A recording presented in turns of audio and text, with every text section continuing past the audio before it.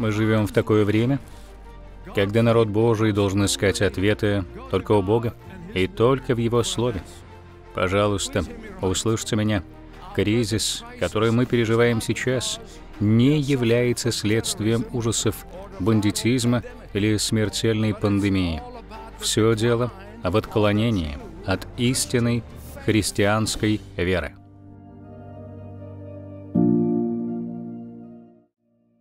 Период с 1984 по 86 годы я переживал борьбу в молитве. У вас бывало такое? Тогда вы понимаете, что я чувствовал. Это было как в истории про Иакова, когда он боролся с Богом в молитве. Это были очень болезненные переживания. У меня был очень простой вопрос к Богу. «Ты действительно хочешь, чтобы я основал эту церковь, которую теперь мы называем Церковь апостолов?» У меня было очень много сомнений. Я не был уверен, слушаю ли я Бога и Его голос, или я следую за своими мыслями, ведь не обманывайтесь. Мы часто слушаем сами себя и сами отвечаем на свои же молитвы. В этом была моя борьба. Чей голос слушаю я? Я очень хотел быть послушным Богу, поэтому дело было не в послушании. Вопрос был в распознании и умении различить голос Божий. И в то время моих борений, и в наши дни я всегда понимал, что для передачи полноценной библейской истины следующему поколению необходим особый формат, особая конструкция, способная помочь в подготовке будущего поколения, которую можно сравнить с трехногим табуретом. Первое звено в этой цепи — это, несомненно, дом. Вторым звеном является церковь. И затем идет школа или образование. А вот что было у меня на сердце в то время. В моем случае я мог бы сбросить со счетов образование и школу. Я был готов к этому, но дом и церковь должны были быть неразрывно связаны, чтобы вместе суметь основать, утвердить, и воспитать новое поколение способным принять истину. Но Бог открыл мне нечто особенное в этой борьбе. Он использовал мою личную корысть, чтобы вытащить меня из состояния благословенного спокойствия и сделать то, что он пытался до меня донести? Все эти два года борьбы в молитвах, чтобы заставить меня подняться с места и начать делать то, что он хотел, Ему буквально потребовался один телефонный звонок от человека, который теперь является членом нашей церкви. Это был звонок от заведующей воскресной школы в церкви, которую мы посещали на тот момент. Итак, она позвонила и сказала мне, «Вчера у нас была встреча с новым директором по христианскому образованию». Он встречался учителями воскресной школы, и он сказал следующее. «Друзья, вы уделяете слишком много времени Иисусу, а нам нужны всесторонне развитые дети. Послушайте, я верил в это в 86 году и верю в это сегодня, прямо сейчас, когда стою перед вами. Церковь и дом — это два самых важных места для следующего поколения, где они могут не только узнать о библейской вере, но могут научиться жить ею. Тогда я еще и не догадывался, что эти антихристианские и антибиблейские силы которые только начали появляться в церквях на тот момент, через 35 лет займут такое вопиющее, торжествующее положение. Невозможно было представить тогда, что эти силы будут настолько открыто изводить, запугивать и даже преследовать верующих детей. Это привело к тому, что к 2020 году многие христиане поддались этому давлению и согласились, что нужно просто плыть по течению.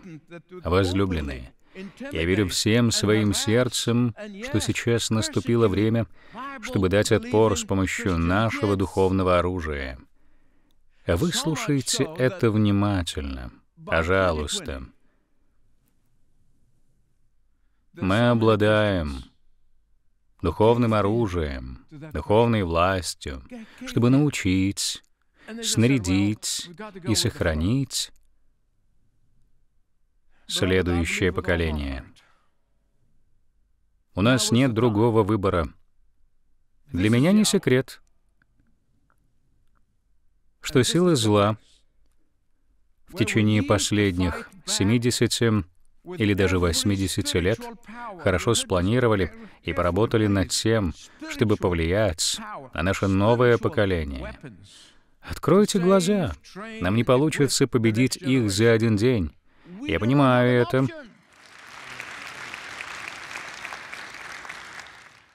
И у меня нет иллюзий на этот счет. А вот почему мы в нашей благословенной Богом церковной команде прикладываем все усилия, чтобы в следующие десять лет применить и осуществить Божье видение для нашей церкви. А вопрос, почему я так страстно увлечен этим? Потому что, мои дорогие друзья, Писание говорит нам — что будущее поколение — это наш самый важный актив. Новое поколение — это наша самая важная инвестиция. Откройте 126-й псалом и, пожалуйста,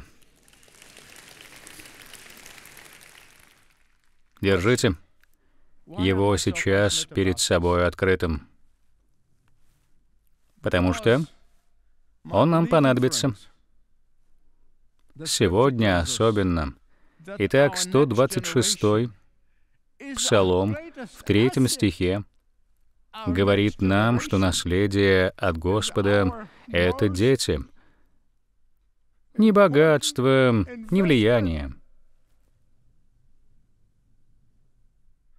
Не от общества, не от кого-либо еще, но от Господа. Вы уже слышали это от меня и услышите еще не раз. Наши дети не принадлежат нам. Это дети от Господа, и Он верил их нам. От кого же дети, скажите? От Господа. И Он говорит нам, что будущее поколение — это самая большая ценность, которую Бог доверил нам. И далее Он продолжает, что стрелы, а в руке сильного, то сыновья молодые. Обратите внимание, что у этого псалма есть основное значение и второстепенное. Основное его значение — это псалом о семье, второстепенное значение — это псалом о церкви. Вот почему в самом начале псалма, в первом стихе, мы видим и читаем напоминание о верховной власти Бога в наших жизнях. Он Бог, который дал нам все. Бог, который дал нам наших детей. Бог, который дал нам наше будущее поколение. Бог — это тот, кому можно и нужно доверить следующее поколение — для его же защиты. Затем псалмопевец спешит рассказать нам о нашей обязанности перед теми, кто идет за нами. При этом, возлюбленные, Слово Божие очень ясно говорит нам, что мы не можем и не способны исполнить эту обязанность без Божьего могущества и силы, действующей в нас. Дорогие, нам не стоит разбазаривать его дар или вкладывать его во что-то, кроме самого важного в этом мире, а именно знать и любить Бога, наслаждаться и послушаться Его Слову, чтить и уважать Писание, Мы с вами хорошо знаем, как много родителей тяжело и изнурительно работают для того, чтобы обеспечить своих детей всем необходимым, и слава Богу, что у них есть такая возможность. Но при этом они забывают самую важную и самую ценную ответственность натренировать и подготовить их как воинов Божьих, постоянным напоминанием им об их важности для Царства Божьего и о том, насколько могущественно они могут быть использованы Богом, а также наглядно показать им, что наибольший успех в жизни — это быть светом для Иисуса, где бы они ни оказались. Мое сердце разрывается от того, что церкви постоянно заняты планированием и поиском способов веселого времяпрепровождения и развлечения детей. Послушайте, я не против хорошо проводить время. Я люблю это, так же, как и все. Это здорово, я за то, чтобы дети были развитыми, но не в том смысле, как это имел в виду тот пастор в 1986 году. Он говорил, вы уделяете слишком много времени Иисусу. Так он и сказал. Нам нужны всесторонне развитые дети. Помню, я сказал тогда, после того, как повесил трубку, с моими детьми этого не будет. И мы ушли оттуда без оглядки. Я взываю сегодня ко всем, а не только к родителям и бабушкам с дедушками. Послушайте, я верю всем сердцем, что это откровение предназначено для всех. Неважно, замужем ли вы, есть ли у вас дети или нет, мы все должны взяться за этот плуг и трудиться, чтобы передать следующему поколению всю библейскую истину в целости. А если вы пожилой человек, то помогите кому-то, кто моложе вас. А если вы пожилая женщина, то вложите все в женщину моложе вас. Если вы студент, то протяните руку тем, кто еще учится в начальных или старших классах. Таким образом, мы охватим абсолютно всех. Чаще всего вам достаточно будет выслушать кого-то и, может быть, дать мудрый совет. А может, надо будет объяснить что-то из Библии. Но в любом случае, каждый из нас, каждый без исключения, может что-то сделать. Так давайте вернемся к первому стиху из 126-го псалма. «Если Господь не созиждет дома, зачем мы строим дома? Для наших семей, правильно?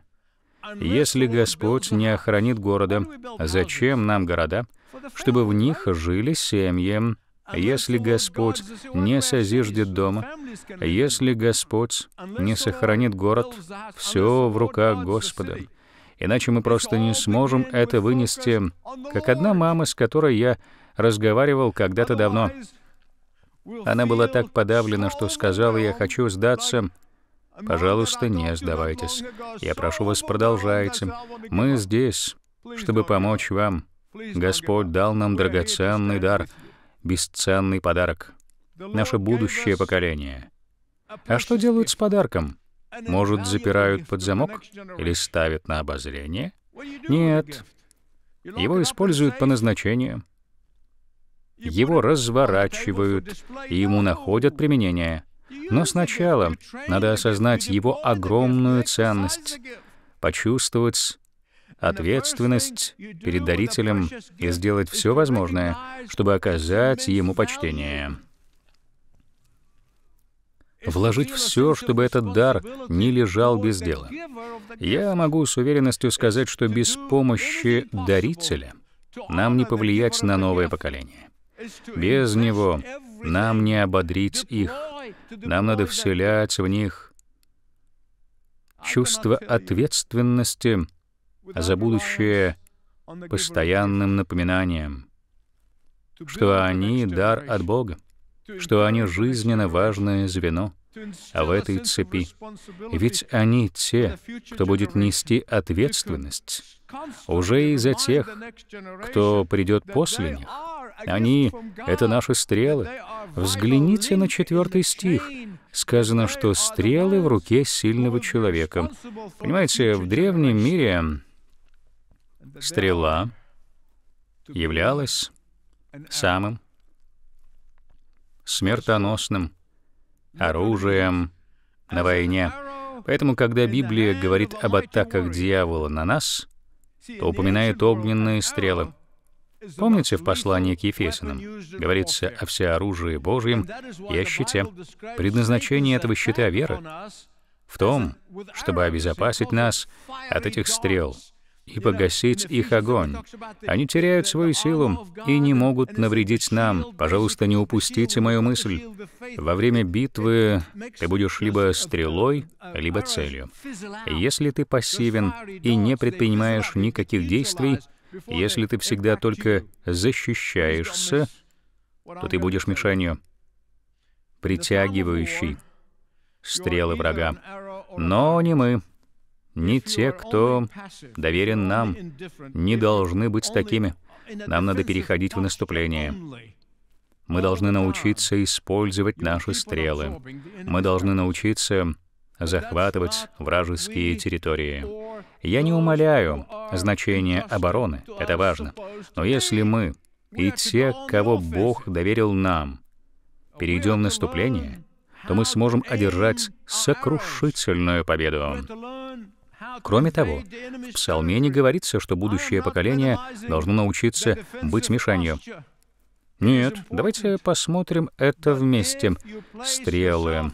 Быть стрелой подразумевает другое мышление, абсолютно другую стратегию и склад ума. Совершенно другой подход. Доверьтесь лучшему стрелку из лука во всей Вселенной. Я говорю о Святом Духе. Позвольте я дам вам несколько советов и подсказок по использованию стрел, хорошо? Во-первых, стрелы очень быстро и далеко летают. Выстрели из лука, и стрела сможет преодолеть огромное расстояние. Она движется со скоростью света, ее невозможно увидеть в полете. Послушайте, влияние вашего величайшего вклада в чью-либо жизнь вы, скорее всего, сможете увидеть только на небесах, потому что, сделав это, вы не будете трубить об этом на всех углах. Ваше величайшее служение следующему поколению, скорее всего, будет невидимо. Но помните, что в древние времена у стрелы был огромный радиус действия. Исаия в 49 главе, во втором стихе говорит об этом, как и все Писание, и подтверждает эту мысль. Он говорит о силе слова, о силе слова жизни для следующего поколения. Он говорит, что слово будет как стрела, благодаря силе Святого Духа в ней. Послушайте, что Слово Божие говорит. «Соделал уста мои, как острый меч. Тенью руки своей покрывал меня, и соделал меня стрелою изостренную, в колчане своем хранил меня». В книге Иеремии, 51 главе, 11 стихе, мы видим ту же самую мысль. Он говорит «острите стрелы». Возлюбленные, пришло время заострить наши стрелы. Мы поднимаем щит для того, чтобы защищаться. Но зачем затачивают стрелы? Для славы Божией и нашего благословения. И перед тем, как закончить, я хочу еще кое-что сказать о стрелах. Бывало, что стрелы использовались, чтобы доставлять послание. Берешь сообщение,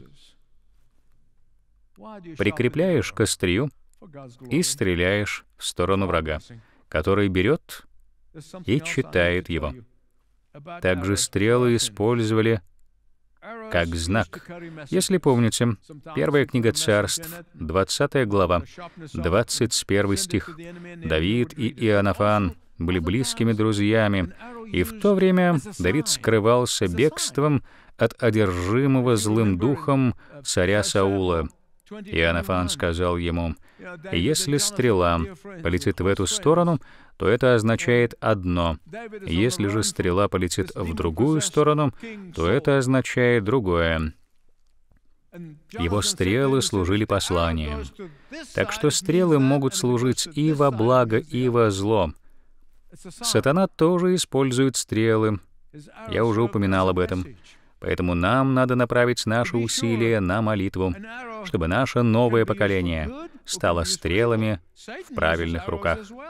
Богохульные силы, противящиеся Библии и нашим семейным ценностям, затачивают, направляют и нацеливают свои стрелы зла на наше будущее поколение. Поэтому у нас с вами нет выбора. Мы должны натренировать следующее поколение. не просто держать в руках щит веры и уметь обороняться от стрел лукавого, но мы должны научить их, как им самим стать стрелами, подготовить их всегда быть на чеку, чтобы их не могли обмануть. Боже, в нашей сегодняшней культуре столько обмана, лукавые, и двусмысленные разговоры, лживые лозунги, которые только звучат хорошо, но полны яда внутри. Мы должны научить наше новое поколение быть острыми стрелами в руках святого и всемогущего Бога. Нам надо научить их не бояться запугиваний и манипуляций, не стремиться быть принятыми, невзирая на цену. И главное, научить их молиться, а жить и ходить с Господом. Но услышьте, пожалуйста, главное. Этому невозможно научить просто на словах. Это надо показать своей жизнью. Ведь они смотрят на нас и подлавливают на том, как мы поступаем. Да, учить необходимо, но не так, чтобы это звучало как «делай то», что я тебе говорю, но не делай того, что делаю я. Именно поэтому в Псалме написано, «Если Слово Божие не станет центром нашей жизни, если Писание не станет центром наших семей, наших церквей и общества, то тогда мы можем потратить хоть триллионы долларов на образование, но результатом станет падшее общество. Не помню точно, но мне кажется, Альберт Швейцер сказал, «Личный пример — это не самый главный метод влияния, а единственно возможный». Итак, мои возлюбленные друзья, если мы Будем молиться, направлять и учить наше будущее поколение, то сможем совершить великий подвиг ради Бога.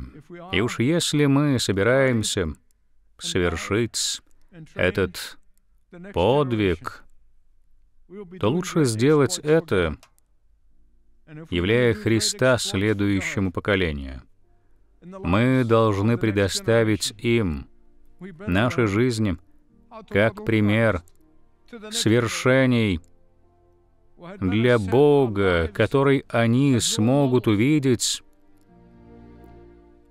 а не просто услышать, посмотреть и забыть этот пример.